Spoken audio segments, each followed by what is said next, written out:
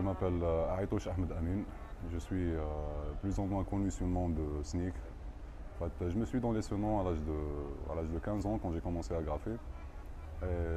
J'avais découvert le graffiti au fait à l'âge de 13 ans et c'est à 15 ans que j'ai vraiment réalisé que c'était le moyen d'expression avec lequel je voulais m'exprimer.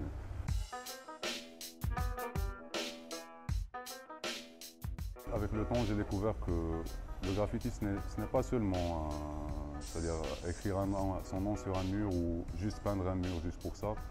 J'ai commencé à comprendre que c'était un, moyen carrément de, vivre. Et c'est devenu, c'est devenu part entière de ma vie, à un point où euh, je suis arrivé à dormir avec, manger avec, euh, voyager avec.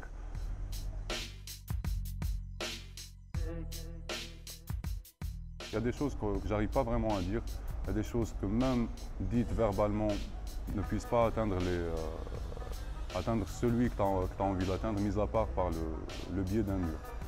Du coup, même sur les murs, j'arrive plus, euh, plus c'est-à-dire à écrire des choses, euh, des choses directes qu'on peut comprendre à la première lecture.